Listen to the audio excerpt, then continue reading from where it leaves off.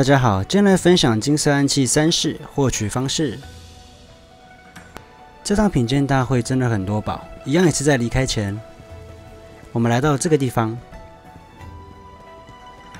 会触发剧情捡到一个玉佩，这时冷音会出现说玉佩是他的，将玉佩拿给他还会增加些许好感度。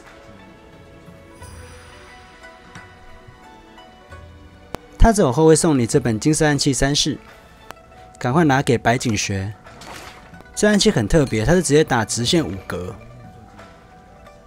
暴雨梨花式是打十字范围，有这两招可以按战斗时敌人的站位来决定要放哪一招。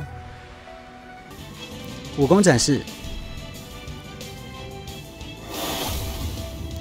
这范围跟伤害真的很赞哎，而且还可以下不少 debuff。以上为金色暗器三式获取方法。明天会整理名剑山庄可学到的武功分享。基本上名剑山庄出关，主角会有一个值的改变。我是小峰，我们下次见。